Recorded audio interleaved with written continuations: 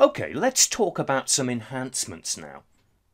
I explained in my previous videos that each time you scan the array, another item is going to find itself in the right place. So the next time you scan the array, you can do one less comparison. Now I already have a variable here, which is being incremented each time I pass through the outer loop.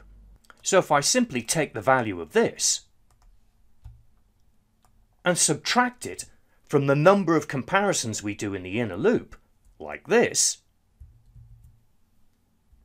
then this version of the program will actually do half as many comparisons as the original. It's considerably more efficient. Now I'm just going to quickly test to make sure I've got that right. It's still sorting the data properly. Now I can't see any difference in how much quicker it is but if I had a really big array, I might be able to notice it. There's one more enhancement I want to make to this, which will cause the bubble sort to finish early once the data is fully sorted. Consider this, if the inner loop scans along and it doesn't swap anything, then the data must all be in the right place.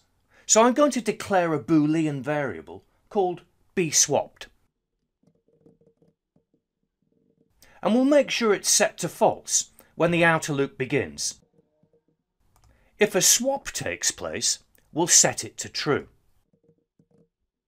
And then we'll test to see if it's false when the inner loop is finished.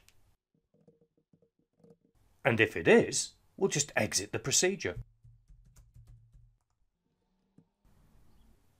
So the idea is, once the data is already in order, everything stops. Let's give this final enhancement a shot, see what it does.